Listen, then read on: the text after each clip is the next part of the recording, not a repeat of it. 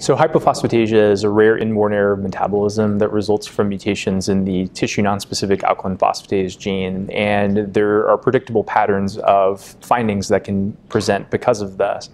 And the most prominent of these are respiratory findings uh, and also significant bony findings. And, and sometimes the bony findings can be really striking. These are patients who have the appearance of rickets.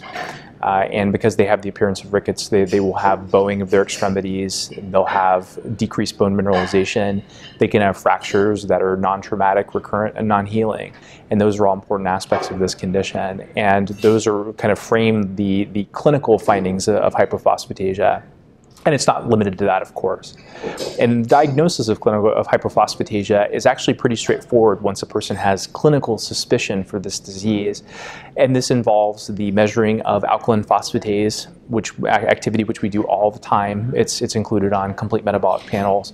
And if a patient has low alkaline phosphatase levels for age and sex, then you can look at other substrates such as pyridoxal 5-phosphate, which is the active form of vitamin B6, and also phosphoethanolamine, which is a particular amino acid that can be found in the urine. Uh, and if those are elevated, that's enough to, to really diagnose a patient with hypophosphatasia. So once, so really it's the clinical suspicion for hypophosphatasia that's the hard part. Once a person is appreciated that this is, this is a risk for them, the di further diagnosis is fairly straightforward in most cases.